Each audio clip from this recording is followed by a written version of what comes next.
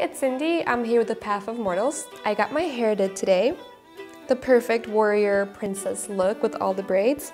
If you want to do something easier, I have a hair brooch for you. It's perfect. Or if you just love hair accessories, this is the one episode for you.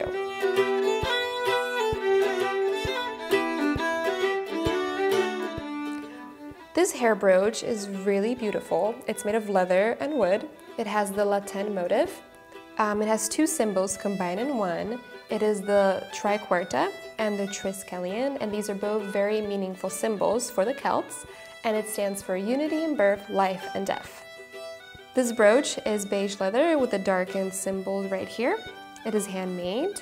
You can see it has the wooden stick right here, and it comes out it's a little bit tough to get it out, but it's perfect for when you want it to stay in your hair. So it's adjustable, perfect for any bun, ponytail, or just to complete your costume or any day look. If you're interested in this brooch, make sure you check out the link, it's right below the video. And once you style it, make sure you tag us in your photos on Instagram or Facebook. I love seeing them.